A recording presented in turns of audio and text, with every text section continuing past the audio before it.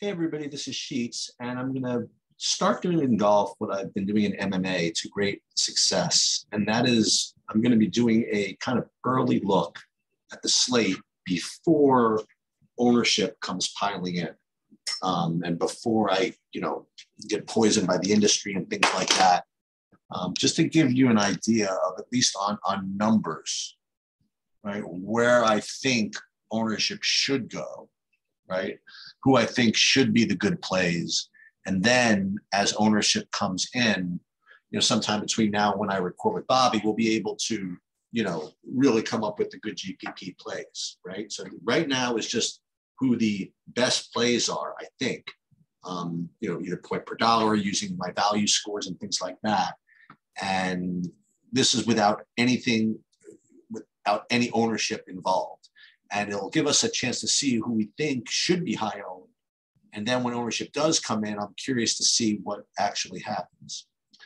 Um, so I'm going to do this tier by tier again. And interestingly, or maybe not so interestingly, the, the, the top plays are from the top of the board.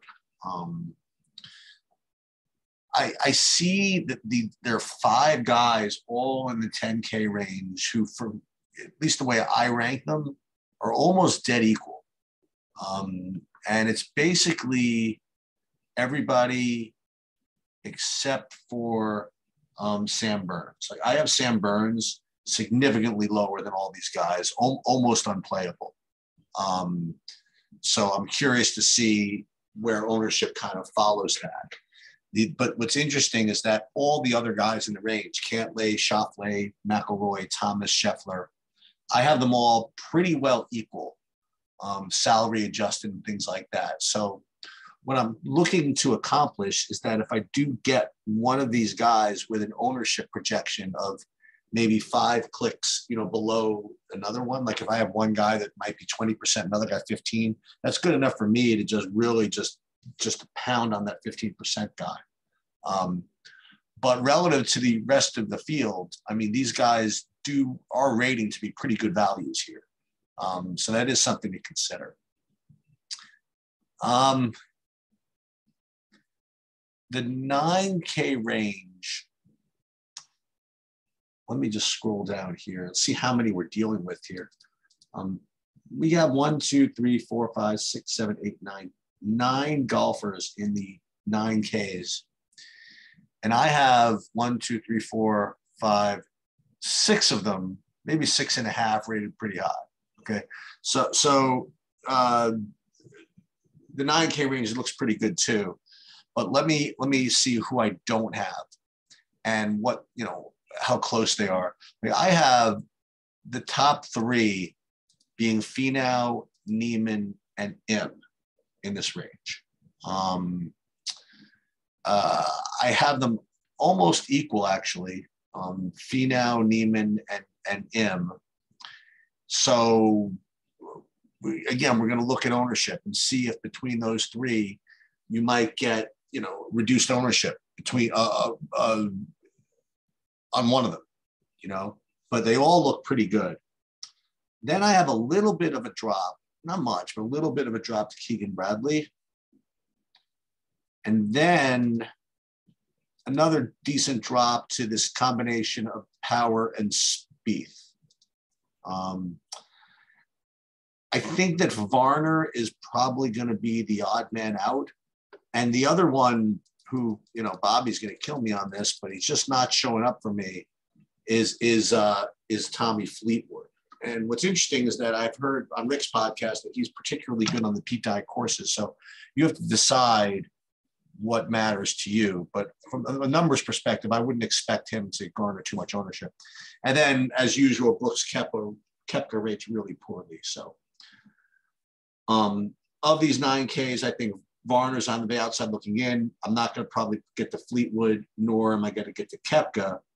And the rest are playable, and it's just you know, where ownership comes in. But again, if I was ranking these, at least now, it would be Niemann, well, Niemann and Finau and Im were all pretty well the same as far as I'm concerned. All right. Um, under 9K. We got about 12 guys over there. Let me see how these those guys kind of stack up. So I have one guy here, well, three guys that stand out. And really the only three guys I like in the range. And one of them is extremely strong um, in my overall values, and that would be Mito Pereira. Um, he is going to, I would imagine, he would end up being a, a pretty popular play just because of the way he stands out on my sheets, you know. And if he stands out on my sheets, he's probably going to stand out on most of the industry sheets as well. Um, so I would expect to see Mito as an extremely high owned, you know, kind of mid range play. If he's not, I mean, then it's you know, you know what to do.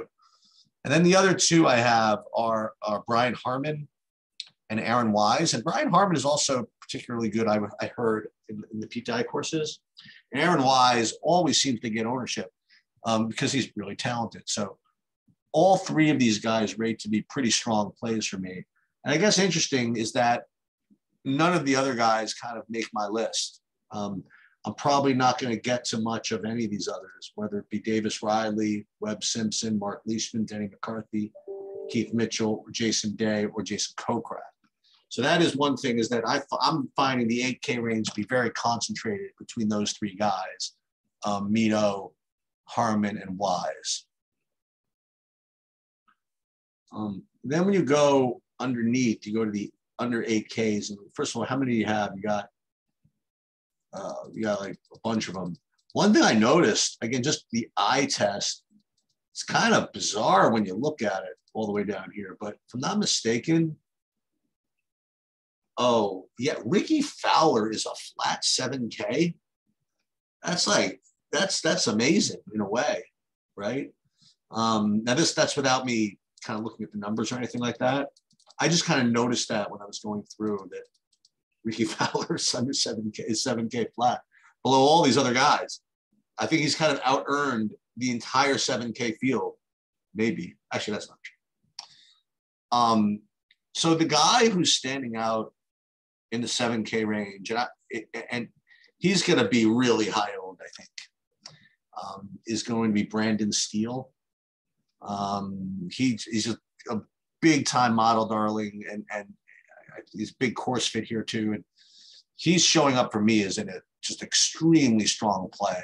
And like i said showing up for me really strong. I would i would hope and imagine that he's showing up for the industry is really strong too. So i'm going to expect a good amount of ownership from him. And if you don't get it then then that's a just a ridiculous play. Um, and then you have your usual group of 7K guys, um, not your usual but they're all kind of close to one another. I, will just kind of read off what, who I have. Um, below, this is all below, uh, whatchamacallit, uh, Steele. And Steele is light years ahead of everybody else, for us I'm concerned. But then there's Siwoo Kim, uh, Tringale, K.H. Lee. Actually, I could separate these a little bit. I have Siwoo Kim and Tringale a little bit higher than the next group, which is K.H. Lee and Bezuidenhout, and then a slight drop to the to the Dahmen play. And then you're into guys I might not get to, like like Vegas, Luke List, Hoge, McNealy, Brendon Todd. Brendon Todd will probably get, get some get some love this week. But for me, Brendan Steele is going to be a staple of, of most most lineups this week. I would I would imagine. Um, so for me, it's Brendan Steele, Siwoo Kim and Tringale, and see kind of where ownership kind of comes in. Um, and with respect to the under 7Ks, I mean, I, I really don't like any of them. You know, you have to get down to like the 50th rated golfer in my value scores to get to any of them. And that would be Russell Knox, Erik van Rooyen, Lucas Glover. I mean, all these guys are okay, but I don't, I prefer to not get to them. Um, one thing I can do just for fun is I can run a, um, a SaberSim build given my current projections and see what it would come up with. So let's do that. Um, let's just let's just do it completely live. So let's let's go into um, Did I upload the, the let's, let's see if I did. I don't even know if I uploaded them yet. Let's just take a look. Um, if I did not upload them, let's see, PGA projections. This is the TrueDFS site where I upload my sheets. Um, no, I did not upload them yet. Um, but so what I have to do is I have to go into into SaberSim directly. And what I'm going to do, I'm going to run just a just a projection build. Like I'm not going to run anything, you know, um, uh, with ownership or any anything like that. I just want to see, given my numbers, where I think we would come out. So let's let's let's select ownership anyway. And what we'll do is we'll we'll build um manually. We'll build with um, no ownership fade. We're just going to do this, just like the, the 150 best kind of lineups. Okay, just rated by what's good, what's what's optimal. You know, their median projections. And then what I want to do, I want to, uh, you know, let's have some fun while I'm doing this. Then I'm going to do another one using whatever ownership I have now and, and, and that that type of thing. So as as I suggested, um, Brendan Steele rates to be would rate to be the highest owned golfer, um, given yeah, given my numbers, and that makes sense. And you see all the guys that I talked about in here: Cameron Tringale, Siwoo Kim, Mito Pereira, um, and then these these these 10K guys I talked about, Schauffele, Cantlay. and there's Harman in there. Um, so not surprisingly, you know, when you build you're getting the guys that I that I talked about. And what's cool is that you don't have to get to any of these six Ks to make it work. Um, so uh, that's what's to expect. And then when you get your ownerships in, then what you could do is let's let's give you an example.